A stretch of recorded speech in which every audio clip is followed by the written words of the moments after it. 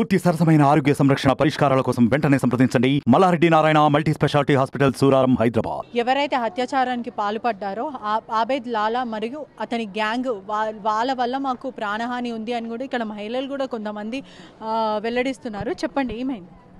Madam ఇంతకుముందు కూడా jail నుంచి రావడం రావడమే నా దగ్గరికి వచ్చిండు madam. Starting morning four o'clock వచ్చిండు. ఫోర్ ఓ క్లాక్ వచ్చి నన్ను కూడా ఇష్టం వచ్చినట్టు మాట్లాడిండు. నా మీద కూడా కత్తి తీసిండు మేడం ఇప్పుడు. ఇప్పుడు నేను ఇది చెప్పాలంటే కూడా నాకు భయం అవుతుంది. ఎందుకంటే ఆయన మళ్ళీ కూడా వచ్చిండనుకో మళ్ళీ నాకు కూడా చాలా భయం అవుతుంది మేడం చెప్పాలంటే. ఆయన రావడం రావడం వస్తే మా దగ్గరికి వస్తాడు. మొన్న ఇష్టం వచ్చినట్టు తమ్ముని కొట్టిండు అల్లుడు సార్ ఈయనను కూడా కొట్టిండు మేడం ఇష్టం వచ్చినట్టు. ఆయన ఏంటంటే ఇప్పుడు ఆయన చాలా గలీజోడ మేడం ఆయన. ఆయన ఇంకా రౌడీ షీటర్ కాబట్టి ఎప్పుడు కత్తి పట్టుకొని వస్తాడు కాబట్టి భయపడి ఇన్ని రోజులు మేము చెప్పలేము మేడం.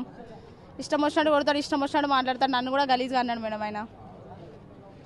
అంటే ఇన్ని జరుగుతున్నాక కూడా మీరు పోలీసులకు ఫిర్యాదు చేయడం కానీ ఎందుకు చేయలేదు? అంటే రారు మేడం ఇక్కడ. పోలీసు వాళ్ళు రారు పట్టించుకోరు ఇక్కడ. మేము భయపడి కూడా పోలీస్ స్టేషన్ వరకు వెళ్ళలేదు. ఎందుకంటే ఇప్పుడు వెళ్ళి మేము చెప్పినా రేపటి నాడు ఆయనకు తెలిసిపోయినా కూడా ఆయన వచ్చినాక కూడా వదిలిపెట్టాడు అని చెప్పేసి మేము ఎప్పుడు పోలీస్ స్టేషన్ వరకు వెళ్ళలేదు మేడం. ఎప్పుడైనా మీ మీద అతని నుంచి దాడి జరగడమే కానీ లేకపోతే చాకు తీసేసిండు మేడం నా మీదకి. ఇంతకు ముందు మార్నింగ్ ఫోర్ ఓ క్లాక్ మా ఇంట్లోనే. మా తమ్ముడు బయట ఉంటే ఆయన కూడా ఇంటికి రావద్దని చెప్పిండు. నా మీదకి అయితే చాకు తీసిండు మేడం ఇంతకు ముందు. మొన్న కూడా నా మీదకి వచ్చిండు ఇద్దరిని కొట్టిండు. మొన్న నైట్ కూడా ఒక అబ్బాయిని కొట్టి ఒక అబ్బాయి మీద కూడా చాకు తీసిండు మేడం మొన్న నైట్ అంటే అతను ఒక్కడే ఇలా చేస్తాడా? లేకపోతే అతని తరపున ఉన్న గ్యాంగ్ కూడా? ఆయన ఉంటాడు మేడం తైసిన్ అని చెప్పేసి.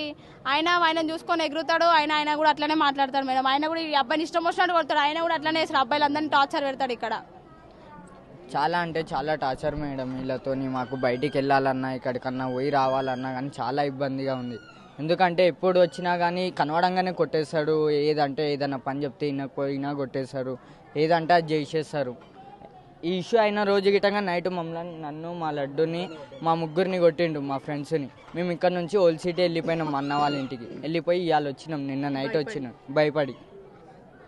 చాలా అంటే చాలా అంటే చాలా భయం మేడం ఆయన. అందరినీ భయపడిపిస్తుంటాడు ఎనీ టైం మిమ్మల్ని ఇంత మందిని అంటే ఒక్కళ్ళు ఇద్దరినే కాదు మొత్తం బస్తీ బస్తీనే భయపట్టిస్తున్నారు అంటే?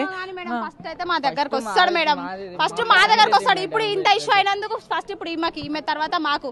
కానీ ఆయన వచ్చినా కూడా నేను ఇంట్లో ఉంటాను మేడం. నేను బయటకు వెళ్ళిపోతాను నేను ఏనైతే నాకు ఇగో వీళ్ళు చెప్తారు నాకు. అన్న వచ్చిందని చెప్తే నేను బయటకు వెళ్ళిపోతాను నాకు భయపడి. నేను ఇంట్లో కూడా ఉంటాను నేను. అంటే ఎందుకు ఇట్లా భయపడుతూ బతకాల్సి వస్తుంది? దగ్గర భయపడే మేడం. ఇన్ని రోజులు ఆయన రౌడీ షీటర్ చాకు ఉంటది ఇష్టం వచ్చినట్టు మాట్లాడతాడు గలీజ్గా మాట్లాడతాడు నాతో కూడా.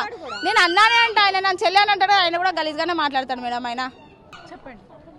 లే మేడం మస్తు వాళ్ళు చూసిన పెట్టినాయి మేము బయటికి వెళ్ళినప్పుడు మాత్రం కొడతాడు ఎవరు కనిపించినా వాళ్ళతో కొట్టిస్తాడు. ఇప్పుడు బయటికి వెళ్ళాలంటే భయం అవుతుంది ఎందుకంటే మళ్ళీ ఆయన వచ్చినాక ఏమైనా కాలేం చెప్పలేము ఏదో ఒకటి అయినా అవుతుంది. సిటీ నుంచి వస్తారు ఆలోళ్ళు ఆలోళ్ళు అందరూ ఆడనే ఉంటారు సిటీలో. ఒక రోజు రెండు రోజులు మేడం మగ పిల్లలు. ఏడనన్నా దొరకొచ్చు. వీళ్ళకైతే ఏడనన్నా టార్గెట్ ఉంది మేడం. ఇప్పుడు మేము ఇక్కడ మాట్లాడుతున్న ప్రతి ఒక్క విషయం ఆయనకు తెలుస్తుంది. ప్రతి ఒక్క విషయం తెలుస్తుంది మేడం. ఇక్కడ ప్రతి ఒక్కడు ఎవరెవరు ఉన్నారో వాడికి తెలిసినోడు ప్రతి ఒక్కడు వెళ్ళి అక్కడ చెప్తారు మేడం. మేము ఇక్కడ ఏం మాట్లాడినాం ఏం చేసినాం. నిన్న నుంచి ఏమేమి అవుతుంది వాళ్ళకి తెలుసు మేడం ప్రతి ఒక్కటి వాళ్ళకి. మేడం ఇప్పుడు ఇంతమంది చిన్న పోరాలు చూసిన పోరాలు భయపడి చెప్పేశారు ఆయనకు మళ్ళీ. ఆయనకి ఏందన్నది ఎవరో ఒకరు ఆయనకి ఇప్పుడు కాంటాక్ట్ అయ్యే ఉంటాడు. ఎవరో ఒకరు ఇన్ఫర్మేషన్ అయితే ఆయనకి వెళ్తుంటది ఇప్పుడు ఇక్కడ జరిగిందంతా. ఇదైతే పక్క మేడం ఇదైతే. మాకైతే ఎప్పటికున్న ప్రాణానికి.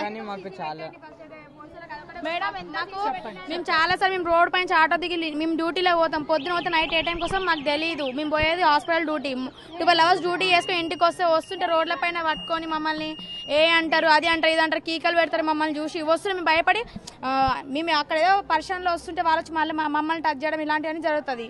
ఇంకోటి తాగుతారు మేము మా ఇంట్లో రోడ్ల మీద మేము రోడ్ల మీద మా పిల్లలు ఉంటారు అందరూ ఉంటారు. పిల్లల్ని కొట్టడాలు అవన్నీ జరుగుతూ ఉంటాయి. మేము మేము కనిపిస్తే తిన్నావా? ఏం చేస్తున్నావు? ఎందుకు మాట్లాడతలేవు? ఇలాంటివి. మాకు గల్లీ గల్లీకి ఒక సీసీ కెమెరా కావాలి మెయిన్ అయితే. మా ప్రతి ఒక్క గల్లీకి మా ఆడపిల్లకైతే మరీ ఘోరంగా ఉంది పరిస్థితి. ఎవరు చూసినా మా బస్సు వాళ్ళు చాలా తక్కువ. మా ఏరియా మొత్తం తక్కువ. బయట నుంచి వస్తారు ఇక్కడ వస్తారు బండ్లు వేసుకొని ఒక ఐదు బండ్లు ఆరు బండ్లు వేసుకొని ఇదేందే కథ అంటారు నువ్వేంద్రా అంటారు. ఎవడో బస్సు వచ్చి మా బస్సు అని కొట్టడము ఇలాంటివి అయితే చాలా చాలా జరుగుతున్నాయి ఈడ. అంటే ప్రధానంగా ఒక్కరిద్దరినే టార్గెట్ చేయడం కాదు బస్తీలో ఉన్న ఆడవాళ్ళందరినీ టార్గెట్ చేసి దురుసుగా బిహేవ్ చేస్తారు. ముట్టుకోవడమే కానీ లేకపోతే. చాలా మంది వాళ్ళు అనేది కాదు చాలా మంది అబ్బాయిలు ఎక్కడెక్కడ నుంచి వచ్చి తాగుతారు. ఎక్కడెక్కడ నుంచి గంజాయిలు కోటర్లు బీటర్లు అసలు ఏడ పడతా ఆడ నైట్ పదకొండు పన్నెండు నా పొద్దు నాలుగు గంటలకు కూర్చొని తాగుతారు ఇక్కడ. ఎందుకంటే సీసీ కెమెరా లేదు. పోలీసు వచ్చిన టైంకి అట్లా పక్క జరిగిపోతారు. పోలీసుడు బొమ్మను మళ్ళాడు కూర్చుంటాడు. పోతే ఇట్లా వస్తాడు ఇట్లా వచ్చి రౌండ్ అప్ కొట్టుకొని పోతాడు. వాడు వచ్చి రెండు మూడు సార్లు రావాలి అట్లా రారు. మేము చాలా సార్లు చూస్తూనే ఉంటాం. బెదిరిస్తా నీకెందుకు నువ్వు అనుకుంటే కాదమ్మా నీకేం పని నా ఈ నైట్ బయట? పోలీసు వాళ్ళకి మామూలు ఇవ్వడం కూడా జరుగుతుంది? అంటే డబ్బులు చూడలేదు. మాకు కావాల్సిన గల్లీకి ఒక సీసీ కెమెరా కావాలి. మాకు రోడ్డు నుంచి వస్తుంటే చాలా మంది తాగుబోతులు ఆ దొంగలు అక్కడ కూర్చుంటే వస్తుంటే గలీజ్గా మాట్లాడాలు. ఏమైంది? ఏంద్రా? ఇవన్నీ అనుకోవడం మేము చాలాసార్లు చూసాం. చాలాసార్లు కంప్లైంట్ పోలీసులు అడిగితే మీరు రంటే మా పిఎస్ మేము పిఎస్కి పోయేంత టైం మాకు దొరకదు. మేము పొద్దున ఏడు గంటలకు పోతే రాత్రి ఎనిమిది అయితే ఇంటికి వచ్చేసరికి. మా పిల్లలు కొనుక్కునే టైం కూడా మాకు దొరకదు. అలాంటి టైంలో అలా అక్కడ పట్టుకుంటారు మమ్మల్ని. ఎట్లుంటుంది? ఇప్పుడైతే మేడం మాకు కావాల్సిందైతే ఆయనే ఏ టైంలో అయినా మనకు అటాక్ మాకైతే అటాక్ చేస్తాడు మేడం. ఆయన తప్పకుండా ఇప్పుడు పట్టుకొని ఆయనకి ఏదో ఒక శిక్ష వేసేసి ఆయన మాత్రం బయటికి రావద్దు మేడం. ఆయన బయటికి వచ్చిందంటే మా ప్రాణాలు పోవడం ఖాయం madam. Hundred percent madam. Main టార్గెట్లో నేను ఈమె ఇద్దరమే ఉన్నాం మేడం. మా ఇద్దరిని అయితే పక్క వేసేస్తాడు మేడం. ఈ పిల్లలని అయితే ఏ రోజు ఏ టైంలో దొరికించుకుంటారో తెలియదు. వాళ్ళైతే గజ్జ గజ్జ అనుకుంటా కూర్చున్నారు మేడం. ఏడైనా ఇప్పుడు బతకనికి సిటీలో మొత్తం వాళ్ళ వాళ్ళే ఉంటారు. మమ్మల్ని ఎక్కడ పట్టుకొని ఏం చేసేసేది తెలియదు మాకు. ఇప్పుడు అంటే ప్రధానంగా మిమ్- మిమ్మల్ని ఎందుకు టార్గెట్ చేస్తున్నారు అంటే అందరినీ చేస్తున్నారు. కానీ మీ నలుగురు ఐదుగురిని ఎందుకు ప్రధానంగా టార్గెట్ మా ఇంటికి వస్తాడు కదా మేడం. ఇప్పుడు మా ఇంటికి వస్తాడు అన్న అని ఇట్లనే వచ్చిండే. మాకు అన్న అన్న అని వచ్చి కూర్చుంటాడు అన్న లెక్క మాట్లాడతాడు. మీరు ఎదిరిస్తున్నారు కాబట్టి మిమ్మల్ని ప్రధానంగా టార్గెట్ చేస్తున్నారు. ఆ, పక్కా టార్గెట్ చేస్తాడు. ఇప్పటికీ కాదు ఎప్పటి నుంచో కళ్ళల్లో పెట్టుకుండు మా ఇంట్లో. ఇప్పుడు ఏంటంటే మెయిన్ అక్కని పట్టుకోండి ఇప్పుడు. తర్వాత మమ్మల్ని ఇప్పుడు ఈ వీడియో వల్ల దేని వల్ల మా ఇద్దరికి మాత్రం ప్రమాదం పక్క ఉంది. ఆయన నాకేమో మనమడు ఈయన నాకు చిన్న కొడుకు. ఈయన మా నా బిడ్డే. ఈయనేమో ఈమె కూడా బిడ్డనే కావాలి. వీళ్ళు చెప్తున్నందుకు ఇక్కడ వేరే వాళ్ళు కూడా ఏమనుకుంటున్నారు మేడం ఇప్పుడు?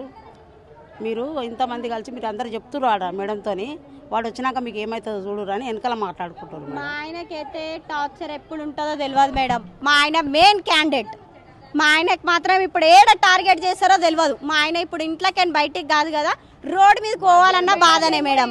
ఎందుకంటే ఆడపిల్లలం ఎన్నో రోజులైనా కొన్ని రోజులైనా ఉంటాం ఇంట్లో కానీ మగపిల్లలు ఉండలేరు మేడం. ఇప్పుడు మా ఆయనకి ఎంత ప్రమాదం ఉందంటే నేను ఇంట్లో ఉంటా ఆయన ఆర్డర్కి పోతాడు ఆయన డెకరేషన్కి పోతాడు దూరం దూరం పోతాడు. ఆయన ప్రతి ఒక్క గ్యాంగ్ ఉంది ఆయనకి.